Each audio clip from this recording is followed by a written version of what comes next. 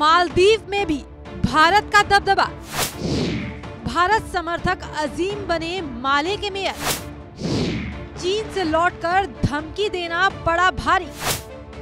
प्रधानमंत्री नरेंद्र मोदी के खिलाफ टिप्पणी करने के बाद से मालदीव और भारत के रिश्तों में तलखियाँ बढ़ती जा रही हैं। मालदीव को भारत से पंगा लेना उसके लिए ही गहरी खाई साबित हो रहा है, जिसे भर पाना अभी तो फ़िलहाल मुमकिन नहीं है। पहले पर्यटन के क्षेत्र में उसे गहरा धक्का लगा और अब घरेलू मोर्चे पर मालदीव के राष्ट्रपति को करारा झटका लगा है। दरअसल, देश की राजधानी माले के मेयर का चुनाव राष्ट्रपति मोहम्मद मुइज्जू की पार्टी पीपुल्स नेशनल कांग्रेस बुरी तरह हार गई है और उन्हें हराने वाले कोई और नहीं, बल्कि भारत समर्थक कैंडिडेट है।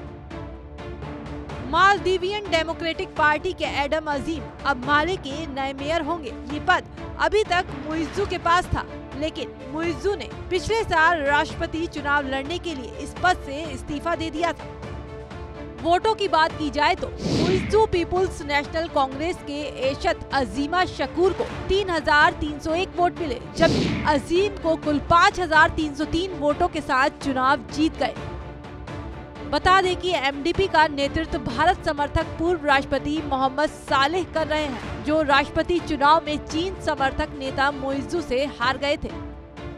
मालदीव के राष्ट्रपति मोहम्मद मोइजू हाल ही में चीन के पाँच दिन के दौरे पर गए थे, जहाँ से वो शनिवार को ही राजधानी लौटे। लौटते ही उन्होंने बिना नाम लिए भारत को धमकाते हुए बड़ा बयान दे डाला।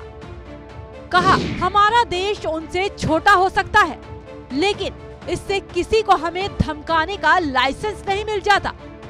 फ़िलहाल इस धमकी का जवाब उन्हें अच्छी तरह से उनके ही घर में मिल चुका है। बता दें कि भारत और मालदीव को लेकर ये विवाद उस वक्त शुरू हुआ था, जब पीएम लक्षद्वीप की यात्रा करके लौटे थे। इस दौरान उन्होंने लक्षद्वीप की जो खूबसूरत तस्वीरें शेयर कर भारतवासियों से अपील की थी, उसके बाद मालदीव के तीन मंत्रियों ने पीएम मोदी और भारत के खिलाफ अपमानजनक बातें कही थी।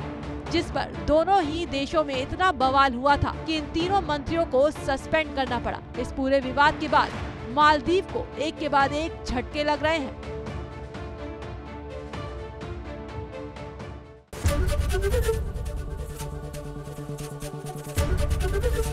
एबीपी गंगा, खबर आपकी जुबा आपकी।